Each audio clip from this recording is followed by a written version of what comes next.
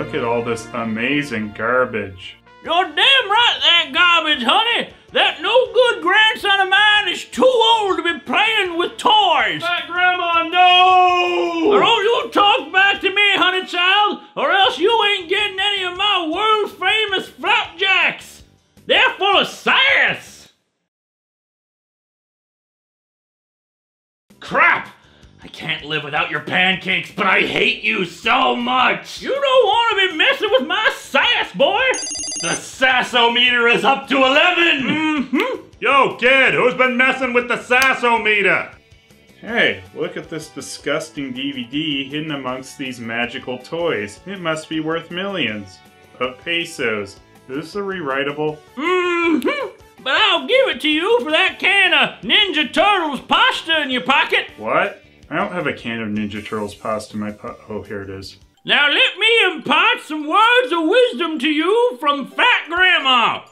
A penny earned is a penny in your pocket.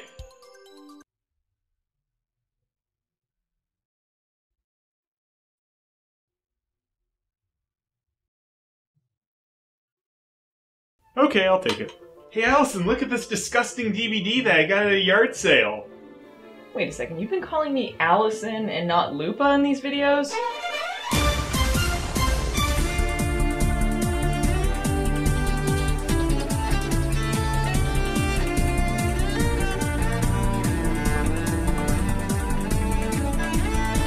It's called The Time Machine that I found at a yard sale.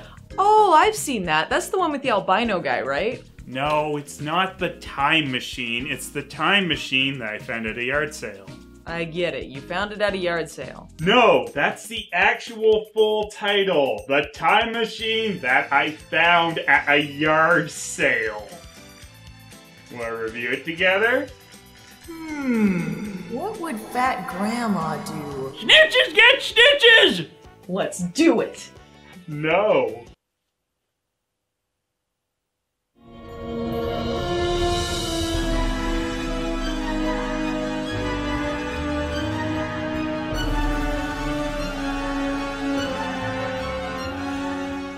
So what is it? It's a movie about a time machine. Someone made it. It's bad. Oh, please, tell me more. If you insist, this movie is put online in the hopes of releasing it on DVD later. I guess it didn't happen for some strange reason. The plot is pretty straightforward. A guy finds a time machine. Now all you have to do is add in mostly green screen and the least charismatic actors in the world, and you get the time machine. I found at a yard sale. You got this at a yard sale?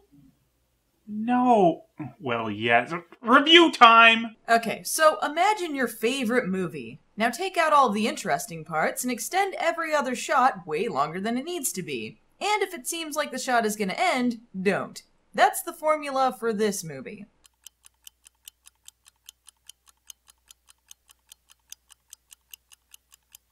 It's a clock!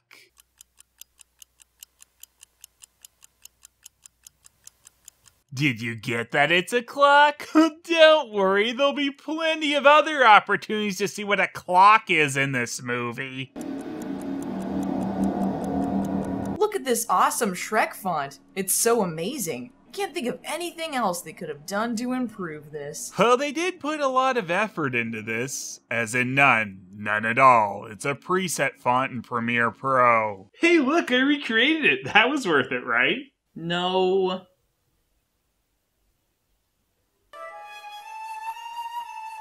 Oh man, check out this framing. I like how he goes behind the tree and all that. Don't worry, this is the only part like that.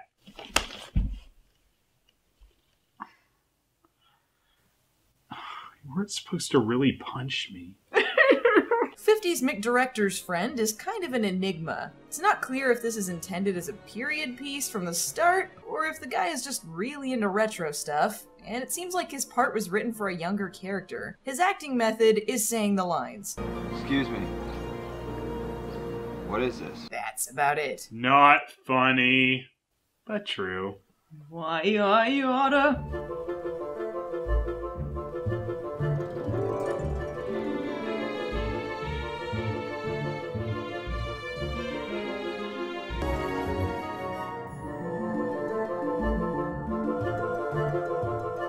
Magical music playing for a really mundane scene. Hmm, where have I seen this before?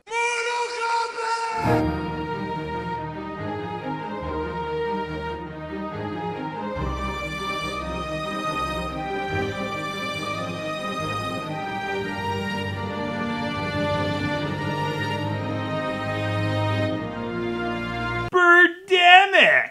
Mr. 50s is going to a yard sale on his bike. Look at all this old junk. I guess that old tea set really caught his eye. All guys in their mid 20s to 30s love old grandma tea sets. This scene plays out almost exactly like the opening of this review, only it sucks because Fat Grandma isn't in it. Mm-hmm. Why do we keep cutting to fat grandma? Because of her delicious homemade chicken tenders, of course. I don't eat that many chicken tenders, guys. Chicken tenders and Coming, fat grandma. What is this?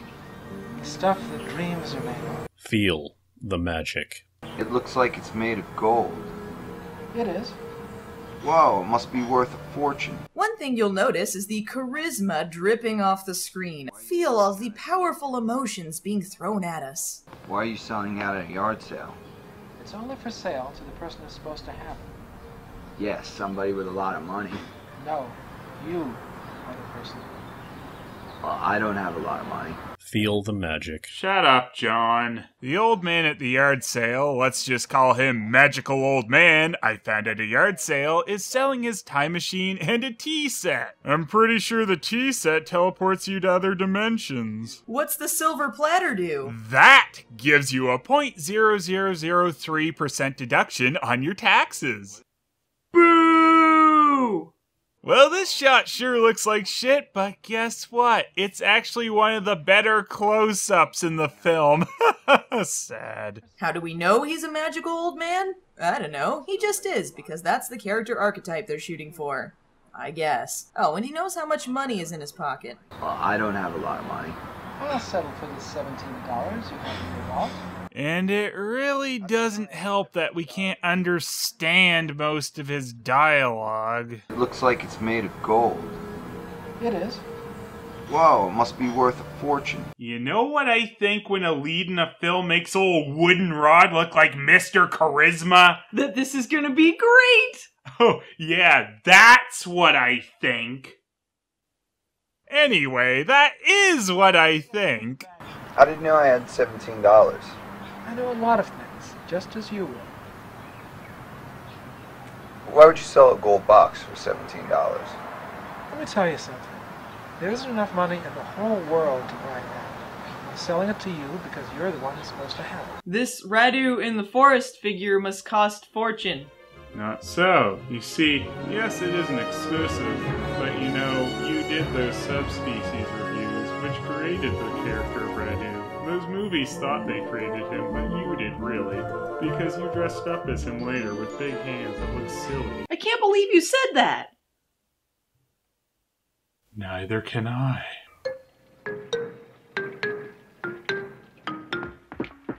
There isn't enough money in the whole world to buy that. I'm selling it to you because you're the one who's supposed to have it. I don't understand. You think the actors had trouble memorizing the dialogue? I don't understand. How can you not understand that? Take 71. Here, let me get a sturdy bag for you to carry it in. You wouldn't want to drop it.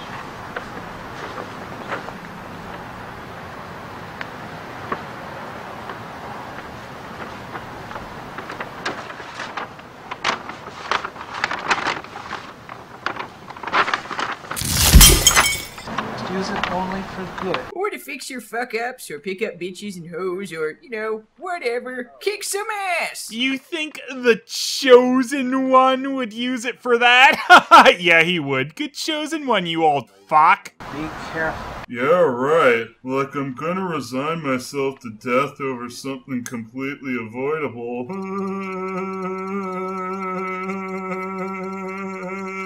Ah, I'm dead. Might as well be since I'm not in the movie anymore.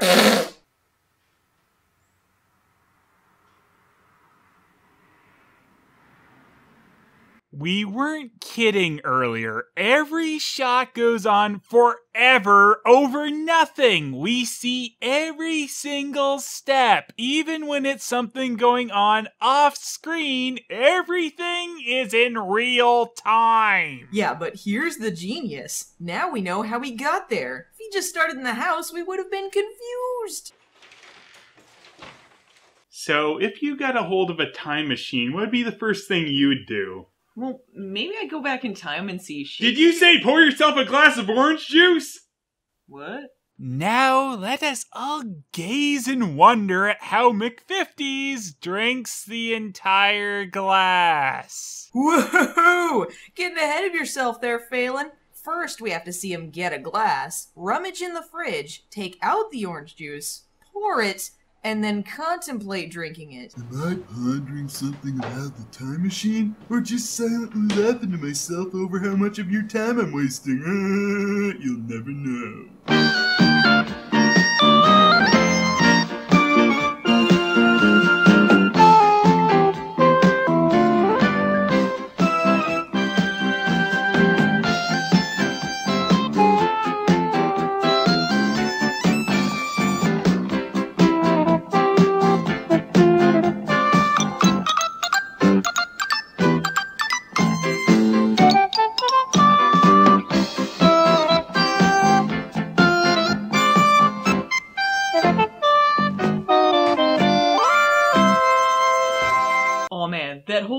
Was thinking to myself, is he gonna finish the juice? And sure enough, he did. That's pretty impressive. For a second, I thought he wouldn't, but then he did. That's something to think about. Right, fat grandma? Y'all want some chocolate chip cookies? We'll return to Fat Grandma and the real Ghostbusters after these messages. By the way, the orange juice scene, that's pretty much this movie in a nutshell. Oh man, is that a time machine with wondrous and unexplained powers? Fuck that noise! Let's focus on something asinine! Thanks, time machine I found at a yard sale, Obama! Hey Phelan, I found this time Hold machine. on, Allison. I gotta take a shit.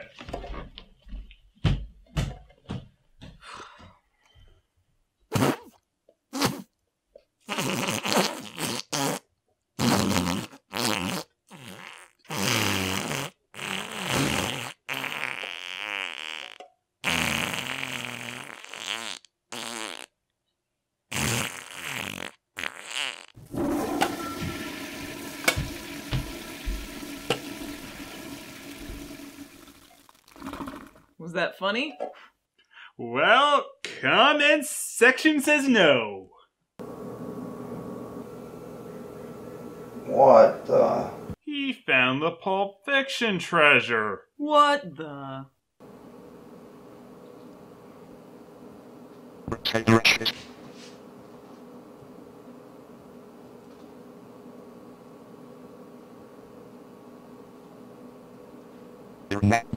So if you're thinking that because they're using that robot voice, it means the time machine's actually going to be able to talk later, well, then you're a fucking idiot for having that much faith in this movie. Harsh, but true.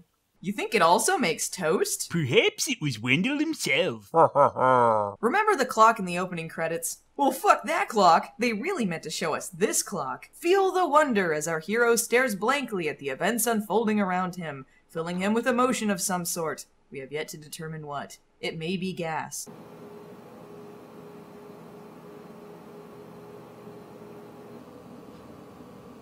Notice the lack of music and lackluster directing, further driving home the point that no fucks were given at any time.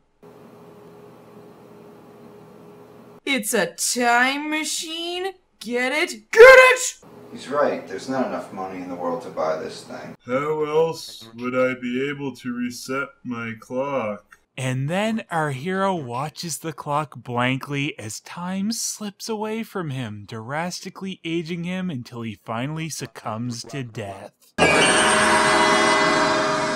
Ugh, I'm dead.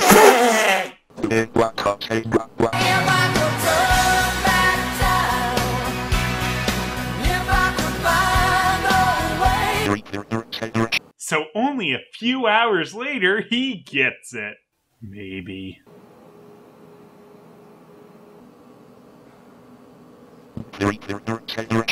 I soon found that I could move forward or backward in time as fast as I wanted. I could even stop time from my perspective. I found that it was also possible to enter a time value and the machine would move you instantly to the time selected. You're, uh, just gonna have to take his word for it, I guess. I had always wondered what the future held for mankind. Notice the uh, sheer star power coming from our lead. I like how he delivers his lines so um, energetically. A tour de force. And what is he looking at over there? A way out? So I decided to go back to my apartment and pick up the things I thought I would need for my journey into the future. Go back to his apartment? Then where the hell is he now? So he broke into his mother's house or something? Whose orange juice did he just steal? So how does he know what to take with him to the future? Just an overnight bag with what? A spare change of underwear in case he shits himself? Ah, the lovely toilet flushing transitions. He should get that checked out. Pee's not supposed to be green. So if you fell asleep during that, the gist is that 50s McChosen here is going to Hollywood Boulevard to travel 10,000 years into the future or something to see what life is like. Why he needs to go to Hollywood Boulevard, I don't know. And then he teleports into the sun. The end. That was green screened in order to do that effect. That effect that did not require a green screen since it involved no transition of him from the shot. But you know, just covering the entire screen with a giant lens flare is the greatest special effects marvel ever created. All hail the lens flare!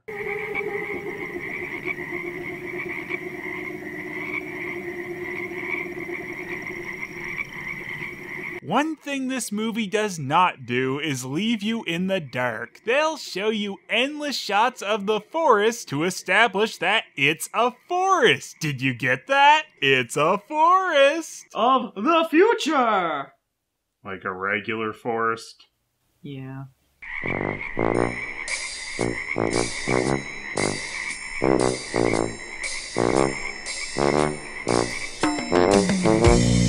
Thank you.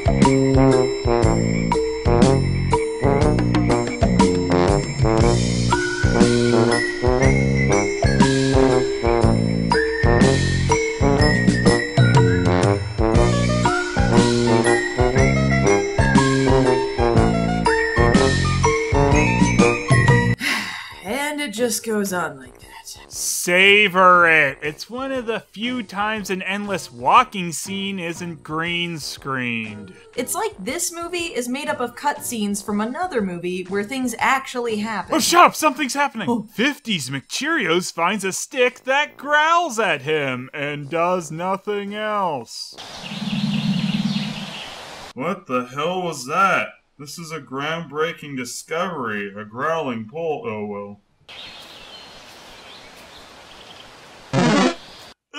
Ugh! Looks pretty good to me. I love the lack of texture. Ugh! Later, he comes across what you'd obviously find tens of thousands of years into the future. Purple nuns picking berries off of berryless bushes in the forest. Of the future! It's pretty obvious they couldn't get good sound outside, so they just filmed it silently and added in the background noise later. So, in order to get the dialogue, they found a compromise. See if you can spot when it changes. Hey, Allison, you know what makes for a great close up shot? Looking directly at the camera? Exactly. It's not weird! What's that sound? The alarm. What alarm? Did you go near the monitors? The columns, they're this tall? Yeah. Oh no. Now they'll find both of us. Wow, I'm glad they screened that so the sound would be better. In case you're wondering when Sad Lady is gonna leave the movie, she doesn't. This is our other lead. I don't know how they managed to match 50s McCheerios' lack of charisma so well, but they found the one other person in the world who has never met another human being before.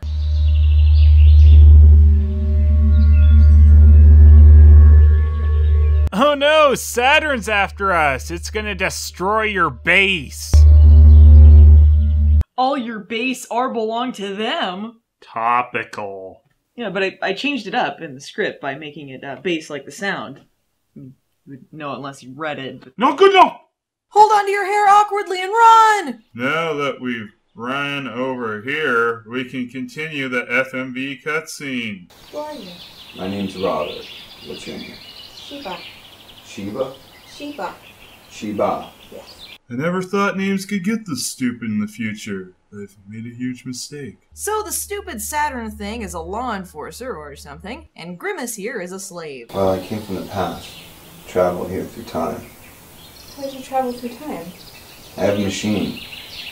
Time machine that I use to travel through time. Hey, timey timers, you can use a time machine to travel in time. Holy shit! Can two people travel at the same time? Yes. Or we'll be spliced in the same person and die horribly. I have no experience to say one or the other. I ran away. Why did you run away? I'm. I'm sorry, I didn't know. I'm sorry. I didn't know about your horrible fashion sense. You should die for that. Robert, Yeah? Yeah? why did you come here? I wanted to see what would happen to the human race. Now you've seen. Yeah, Yeah. I, I saw what it was like for 10 people in the woods. I think I got the gist of it. Robert, please take me with you. Are you sure that's what you want? Yes. Can't you see the excitement on her face? Stand close to me.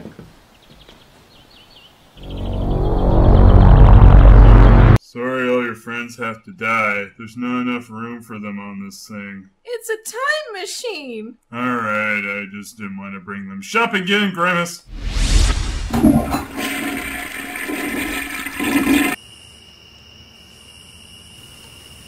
How far did we go into? The sign of an expert editor is to leave at least a couple seconds of blank staring by the actor before they actually begin their dialogue. It's great seeing them look confused before they talk, and while they talk, and after they talk. And if you love them talking in the woods before they left, then you'll love them talking in the woods after they've arrived. Since I'm not a slave anymore, I'm not gonna look like one. I'll be right back.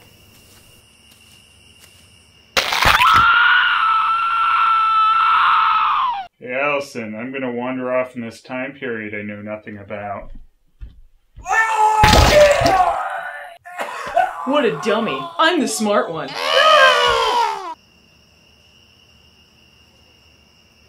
Thank fuck this is in real time. I kept this secret. I hid it until the day I would be free. I made it myself. Ah, so she made that Kmart store-bought outfit in secret and wore it under her nun outfit in the off chance someone took her to a time period where the law enforcers didn't exist? Do you have a mother and a father? Brothers and sisters? I have a mother and a sister. Do you live with them? Nah, we all have our own places. I occasionally go over there to steal orange juice when they're not home. Where will I live? In Grimace's hauled out carcass, you stupid future middle aged baby! That's mean. Okay, she can live with not dead Grimace then. My mother's gonna be away for a couple months. You can stay at her place till we figure out what to do. It's a time machine! So, everyone knows you're going into the future? No, no one knows. No one even knows I have a time machine. Oh, what about work? Where did you tell the people where you work? I'm on vacation. It's a time machine! Every year, I get three weeks where I don't have to work. I had one day a week. She's a slave, but she gets one day off? Well, that's awful nice of them. I bet you like vacation better than work. Hey, Phelan, I bet you like candy more than having your guts ripped out your ass and shoved back down your throat. You read me like a book. I can set the machine to go back to the exact day I left. Oh, did ya just realize that? Remember, don't change the shot for long periods of time. It's what keeps things interesting. And don't forget to have them stand there with no stage business so they just look uncomfortable. Their displeasure puts the audience at ease. You know, I can use the time machine to make my vacation as long as I want. Use it only for good. Experience the same damn woods over and over and over and over again. The future! Whoa! What is it? It's a poorly cut out tree. Oh, I got one of those right over there. I'm gonna go poop over there. That's too real. It's a spaceship. Come on, I gotta see this. No hurry, though.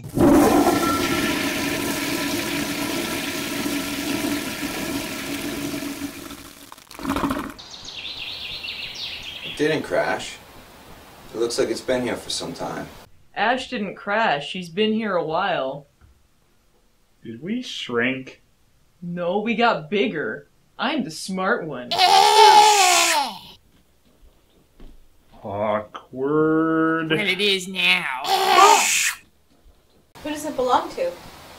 Us. Just use it only for good. I'm not entirely sure the chosen one should go around stealing other people's ships. We're inside my cat. Oh boy.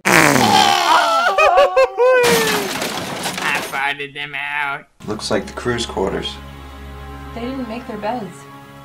No, they must have left in a hurry. They might be in trouble out there. You're right. We gotta steal their ship fast. The light's only around them. It's great. Thanks for standing in front of the flashlight. It helps me see. Really? Where does it go? I'm not sure. We're gonna have to come back later and check it out. Hey, check out that door. Where does it go? Who cares? My 50 cents tells me it's not that interesting without looking. Let's go over there. Oh boy! The music certainly thinks something exciting is happening. Keep playing that music. Maybe eventually we'll be fooled. What are those? Some kind of cargo containers. You'll have to take our word for it. This looks like it's the control room of the ship. Or it looks like a sink on the wall. Exciting, yeah. Maybe we shouldn't be here. Why not? Whoever owned it abandoned it. It's ours now.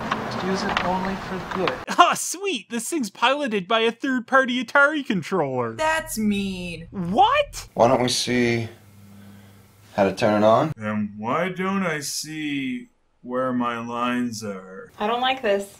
Sit down, please. Yes!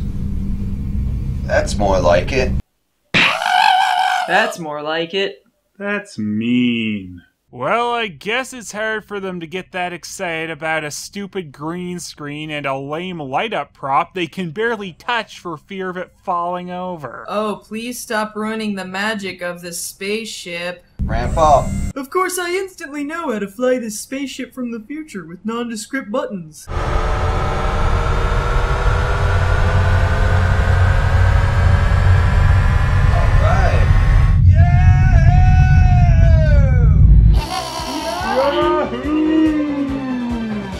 Feel the magic.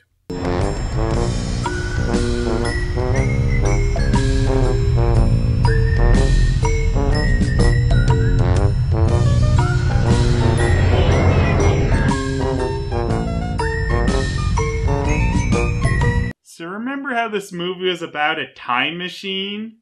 Yeah. Well, it and everyone in it are about to forget that forever.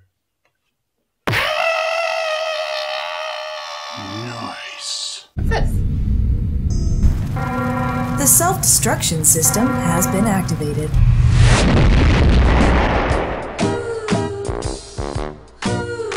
You must deliver the supplies to the members of the resistance as soon as possible. So, this dialogue from the ship here is meant to be exposition for the rest of the movie. Not that you can understand anything that's being said, since they decided these sound effects were more important. The gist of it is, they have to do something involving a rebel alliance. Fuck if we know what that is, but it involves walking on green screens a lot. And they do this despite not knowing if this message is new or from years ago. For all they know, the crew and all the people involved are long since dead. How will we know where My line is. How will we know where Damar is? So that's what this is. It's a course set to Damar. Look, the last point here says Damar. If the people need the supplies, we need to take them there. It's not often they release the table read and call it a movie, but there it is. Oh, we're on our way. Yikes, this thing's fast. Once again, you'll have to take our word for it. This movie sure is flying by. Yikes, this thing is slow. Now get ready for the most emotion these two will show in the whole movie. Wow, that was fun. Yeah, that was fun. Wow, that was fun. Yeah, that was fun. Well, it wasn't that fun. No, not really. Will this review ever be fun?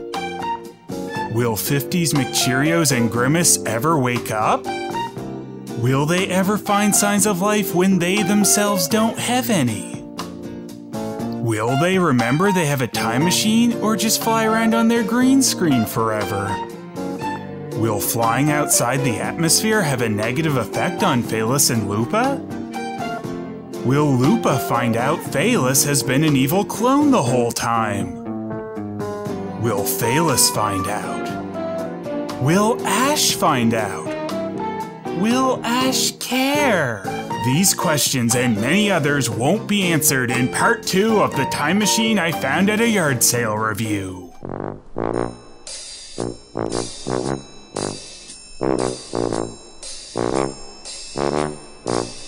Fat